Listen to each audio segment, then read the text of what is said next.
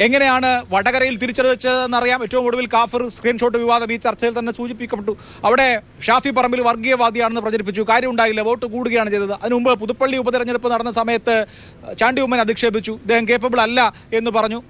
തുടങ്ങി അച്ചുമ്മന്റെ വളയും മാലയും വരെ ചർച്ചയാക്കി. എന്ത് ഗുണമുണ്ടായി നമുക്കറിയാം. ഉമാ തോമസിനെ സമാനമായ വിധത്തിൽ അദ്ദേഹത്തിന്റെ അവരുടെ എന്താ പറയുക വൈകാരികമായ കാര്യങ്ങളെ പോലും പരിഹസിക്കുന്ന സമീപനം എടുത്ത് ഒരു ഗുണവും ഉണ്ടായിട്ടില്ല. അപ്പോൾ ഇലക്ഷനിൽ പൊളിറ്റിക്സ് പറയുക എന്നുള്ളതിനപ്പുറത്ത് സ്ഥാനാർത്ഥിയെ കേന്ദ്രീകരിച്ച് പ്രചരണം നടത്തിയാൽ തിരിച്ചടിയാണ് ഉണ്ടാവുക എന്നുള്ളതിന് സമീപകാലത്തെ ചരിത്രം തന്നെ നിങ്ങൾക്ക് മുമ്പിൽ ഉദാഹരണമായിട്ടില്ലേ? അല്ല അഭിലാഷിന്റെ പകുതി ഓർമ്മയാണ് പറഞ്ഞത്. ബാക്കി പകുതി കൂടി ഓർത്തു പോയാൽ നന്നായിരിക്കും. തൃക്കാക്കരയിൽ എൽ ഡി എഫിന്റെ സ്ഥാനാർത്ഥിയുടെ ഒരു വ്യാജ അശ്ലീല വീഡിയോ ഉണ്ടാക്കിയിട്ട് ഇതുപോലൊരു വീഡിയോ കിട്ടിയാൽ ആരാണ് പ്രചരിപ്പിക്കാത്തതെന്ന് ചോദിച്ച പ്രതിപക്ഷ നേതാവിന്റെ കേരളമാണ് അതിന് കേരള അംഗീകാരം കൊടുത്തെന്നാണോ അഭിലാഷ് മനസ്സിലാക്കുന്നത്? ഞങ്ങൾ ഏതെങ്കിലും ഒരു വ്യക്തിയെ കടന്നാക്രമിച്ചുകൊണ്ട് തെറ്റായ ഒരു കാര്യവും പറഞ്ഞിട്ടില്ല. എന്നാൽ പറഞ്ഞപ്പോൾ പറഞ്ഞ കാര്യങ്ങളിൽ ശരിയുണ്ട് താനും. ഏതെങ്കിലും നവമാധ്യമങ്ങളിൽ ആരുടെയും വളയെക്കുറിച്ചും ഡ്രസ്സിനെ കുറിച്ചും അഭിപ്രായം പറഞ്ഞാൽ അയ്യോ പാർട്ടിക്കാർ പറഞ്ഞു എന്ന് പറഞ്ഞ് നിരവാദ ഉന്നയിക്കുന്ന പരിപാടി ഞങ്ങളുടെ നേരെ വേണ്ട. അത് നിങ്ങൾ നവമാധ്യമങ്ങളിൽ ആരെങ്കിലും ഒരു അറ്റത്ത് എഴുതിയാൽ ഉടനെ അത് പോരാളി ഷാജിയാണ് അത് എ കെ സെന്ററിൽ നിന്ന് വിട്ടതാണ് എന്നും നമ്മുടെ നാട്ടിലെ മാധ്യമങ്ങൾ ഇവിടുത്തെ വലതുപക്ഷത്തിന് കൊടുക്കുന്ന ഇരവാദമുണ്ട് അതൊന്നും ഞങ്ങളുടെ നേരെ പ്രയോഗിക്കരുത്. ഞങ്ങൾ നേരെ നേരെയാണ് രാഷ്ട്രീയം പറയുന്നത്. സ്ഥാനാർത്ഥിയെക്കുറിച്ചല്ല ചർച്ച. പക്ഷെ പ്രശ്നമെന്താ? ഇവിടെ ബഹുമാനപ്പെട്ട കോൺഗ്രസ് പ്രതിനിധി എന്താ വെല്ലുവിളിച്ചത്? ഉമ്മൻചാണ്ടിയുടെ പള്ളിയിൽ നിന്നും അദ്ദേഹത്തെ അടക്കം ചെയ്ത കല്ലറയിൽ നിന്നും ബഹുമാനപ്പെട്ട രാഹുൽ മാങ്കൂട്ടത്തിന്റെ തെരഞ്ഞെടുപ്പ് പ്രചരണം ആരംഭിക്കാൻ ആരുടെ അനുവാദം വേണ്ട? എന്ന് ആരെയാണ് വെല്ലുവിളിച്ചത്? സി പി എമ്മിനെയാണോ? ഞങ്ങൾ മറുപടി പറയണോ? രാഹുൽ രാഹുൽ മാങ്കൂട്ടത്തിന്റെ ആ ആരംഭിക്കാൻ പറ്റാത്ത പ്രശ്നത്തിന് വെല്ലുവിളിക്കപ്പെട്ടത് ചാണ്ടി ഉമ്മനാണ്. ഉമ്മൻചാണ്ടി കുടുംബമാണ്. അഭിലാഷേ ഒരു അത് ഞങ്ങളെ അതിൽ കക്ഷി ചേർക്കണ്ട കെ മുരളീധരൻ അല്ലെങ്കിൽ അദ്ദേഹം വേദനിക്കപ്പെട്ട പോലും അദ്ദേഹത്തിന്റെ അമ്മയ്ക്ക് ആക്ഷേപകരമായ രീതിയിൽ ഡി എൻ എ പരാമർശം നടത്തിയത് ഞങ്ങൾ ചൂണ്ടിക്കാണിച്ചതാണോ? അതിവിടെ കിടക്കുന്നതല്ലേ? മുരളീധരൻ പറഞ്ഞതല്ലേ? അതൊന്നും നമ്മുടെ നാട്ടിലെ ആളുകളുടെ മിണ്ടാൻ പാടില്ല. രാഹുൽ മാങ്കൂട്ടത്തിൽ വിശുദ്ധനാണ്. പിന്നെ കോൺഗ്രസിന് യൂത്ത് കോൺഗ്രസിനകത്തെ വ്യാജ തിരിച്ചറിയൽ കാർഡിന്റെ പരാതിക്കാർ കോൺഗ്രസ്സുകാരാണ് ഞാൻ വേണേൽ അങ്ങോട്ട് രേഖ തരാം. സി പി എം അല്ല പരാതിക്കാരൻ. സി പി എമ്മിന് പരാതിപ്പെടാൻ പറ്റുകയില്ല. പരാതിപ്പെടാൻ പറ്റുന്ന യൂത്ത് കോൺഗ്രസ്സുകാർക്കേ പറ്റുള്ളൂ. യൂത്ത് കോൺഗ്രസ്സുകാർ കോടതി കേസ് കൊടുത്തിട്ടുണ്ട്. രാഹുൽ മാങ്കൂട്ടത്തിനെതിരായി കേസ് കൊടുത്തിട്ടുണ്ട് കോടതിയിൽ. ഞങ്ങൾ സി പി എം ഉണ്ടാക്കിയതാ. അതുകൊണ്ട് സി പി എം ഒന്നും ഉണ്ടാക്കുന്നില്ല ഒരു സ്ഥാനാർത്ഥിയെക്കുറിച്ചും. ഇവരൊക്കെ ഇതാണ് എന്ന് അവർ തന്നെ പറഞ്ഞ് നാട്ടുകാർ അറിഞ്ഞിട്ടുണ്ട് എന്ന കാര്യം ഞങ്ങൾ മൂടി വെക്കുന്നില്ല. അത്രമാത്രമേ ഞങ്ങൾക്കുള്ളൂ. വ്യക്തിപരമായ ഒരു യുദ്ധത്തിന് ഞങ്ങളില്ല. രണ്ടാമത്? ഇവിടെ. കമ്മ്യൂണിസ്റ്റ് പാർട്ടിക്കെതിരായിട്ടും ഗവൺമെന്റിനെതിരായിട്ടും രണ്ടു നേരമായിട്ട് കോൺഗ്രസ്സുകാർ പറയുന്ന പറയുന്നത് നിങ്ങൾക്കുണ്ടോ? ഞാൻ കോൺഗ്രസ്സുകാരോട് ചോദിക്കുക. ഈ കഴിഞ്ഞ നിയമസഭയിൽ ആരാ ഒളിച്ചോടിയത്? പ്രതിപക്ഷമാണോ ഭരണപക്ഷമാണോ? ഏത് അടിയന്തര പ്രമേയത്തിനും ഞങ്ങൾ തയ്യാർ? നിങ്ങളിവിടെ പോയി. ഏത് വിഷയത്തിലാണ് ഞങ്ങൾ ഒളിച്ചു പോയത്? ഈ ഗവൺമെന്റിനെതിരായി ഈ കഴിഞ്ഞ നിയമസഭാ സമ്മേളനത്തിൽ പാവപ്പെട്ടവന്റെ ഒരു വിഷയം ഉയർത്തിയോ? ഒരു വിഷയം ഉയർത്തിയോ? അഴിമതി സംബന്ധിച്ച് ഒരു വിഷയം നിങ്ങൾക്ക് ഉയർത്താൻ കഴിഞ്ഞോ? ഈ സർക്കാരിന്റെ തെറ്റുമായി ബന്ധപ്പെട്ട് ഒരു കാര്യം ഉയർത്താൻ കഴിഞ്ഞോ? നിങ്ങൾക്ക് വേണമെങ്കിൽ എ ഡി ജി പിയെ കുറിച്ച് പറഞ്ഞു കാണും. പൂരം വിവാദം പറഞ്ഞു കാണും. ഇതൊക്കെ രാഷ്ട്രീയ നിലപാടിന്റെ പ്രശ്നമല്ല. ഭരണപരമായി വരുമ്പോൾ ഭരണം നടത്തുന്ന ഉദ്യോഗസ്ഥരിലൂടെയാണ്. അതുമായി ബന്ധപ്പെട്ട വിവാദങ്ങളൊക്കെ വരാം. അതൊന്നും വിഷയമല്ല. അതിന് അതിന്റെതായ നിയമ നടപടികൾ വഴിയുണ്ട്. രാഷ്ട്രീയ ബാധ്യതയില്ല. തെറ്റായ കാര്യങ്ങൾ ഉദ്യോഗസ്ഥന്മാർ ചെയ്താൽ അതുകൂടി ഉൾച്ചേർന്നാണ് ഭരണം. പക്ഷെ പൊതുവിധി ഭരണം മെച്ചപ്പെട്ടതാണ്. അതുകൊണ്ട് പിണറായി സർക്കാരിനെ ഇങ്ങനെ ജനങ്ങൾ ആക്രമിക്കാനൊന്നും തയ്യാറായിരിക്കില്ല. അങ്ങനെ വേണ്ട. നിങ്ങൾക്ക് ഒരു നിയമസഭയിൽ പോലും ഉന്നയിക്കാൻ കഴിഞ്ഞിട്ടില്ല.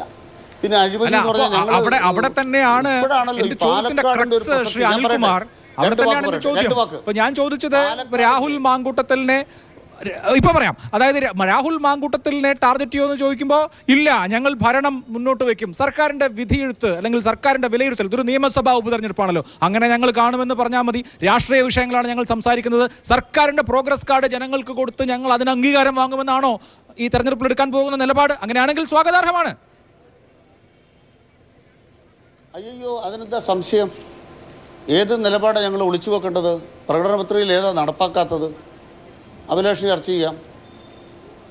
മനസ് മനുഷ്യന്മാർ വോട്ട് ചെയ്യുന്നത് സർക്കാരിന്റെ പെർഫോമൻസ് മാത്രം വെച്ചാണോ? പിണറായി സർക്കാരിനോട് ജനങ്ങൾക്ക് ഒരു വിപ്പതിവത്തിയില്ല. ലോക്സഭാ തെരഞ്ഞെടുപ്പിന്റെ പൊളിറ്റിക്സിൽ അപ്പുറം വോട്ട് ചെയ്തു. അത്രേ ഉള്ളൂ. ഞങ്ങൾക്കിതൊക്കെ നല്ല ബോധ്യമുള്ളവരാണ്. സർക്കാരുമായി ബന്ധപ്പെട്ട് കേന്ദ്ര സർക്കാർ ഉണ്ടാക്കിയ തടസ്സങ്ങൾ മൂലം പെൻഷൻ മുടങ്ങി സപ്ലൈക്കോയി സാധനം കിട്ടിയില്ല ജനങ്ങൾ പ്രതിപത്തിയില്ല അല്ല വിപ്രതിപത്തി വന്നു. ഞങ്ങൾ തിരുത്തി പ്രശ്നം എന്താണ്? പ്രശ്നം ഞങ്ങൾ ഈ ഗവൺമെന്റ് എട്ടേകാൽ കൊല്ലം അഭിമാനമുള്ള ഗവൺമെന്റാണ് ഒത്തിരി കാര്യം പറയാനുണ്ട്. അടുത്ത പോയിന്റ് ഞാനൊന്ന് പറഞ്ഞോട്ടെ? ഞങ്ങൾ വ്യക്തിപരമായ കാര്യങ്ങൾ അവർ തമ്മിലടിക്കുമ്പോൾ ഞങ്ങൾക്ക് തന്നെ ബോണസ് വേണ്ടതാണോ? രാഹുൽ മാങ്കൂട്ടത്തിനെ കുറിച്ച് തുറന്നു കാട്ടുന്ന വിധം കോൺഗ്രസ്സുകാർ നിലപാട് സ്വീകരിച്ചാൽ അല്ല ആ സ്ഥാനാർത്ഥി യോഗ്യനാണെന്ന് ഞങ്ങൾ തുറക്കണോ? അത്രേ ഉള്ളൂ ആ സ്ഥാനാർത്ഥി. അത് കാറ്റുപോയ ബലൂണാണ് ഇപ്പം തന്നെ പൊട്ടിപ്പോയിരിക്കുന്നു. ഇത്രേ ഉള്ളൂ.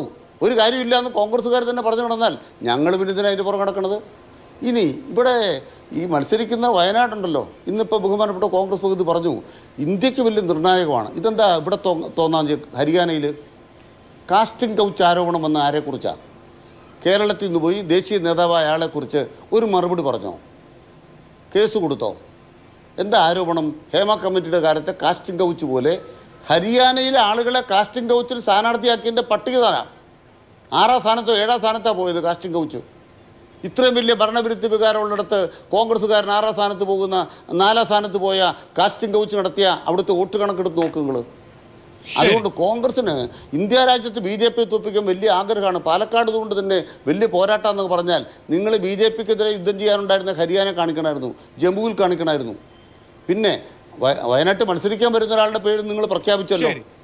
ആ പേര് തന്നെ മത്സരിക്കണം കേട്ടോ. എ ഐ സി സി പ്രഖ്യാപിച്ച പേര് പ്രിയങ്ക ഗാന്ധി വദ്ര. ഞാൻ ആ വളരെ സന്തോഷത്തോടു കൂടി എ ഐ സി സിയുടെ പ്രഖ്യാപനം നടത്തുന്നത്. ആ പ്രിയങ്ക ഗാന്ധിയുടെ അറ്റത്തുള്ള ഭദ്ര ഇതാ പിടിച്ചോ. നൂറ്റി അമ്പത് കോടി രൂപയുടെ electoral bond D L F അഴിമതി ബാലറ്റിൽ അങ്ങനെ ആയിരിക്കുമല്ലോ സ്വാഭാവികമായും. ഞാൻ പറയട്ടെ ഞാനൊന്ന് പറയട്ടെ സാർ. ഞാനൊന്ന് പറയട്ടെ സാർ.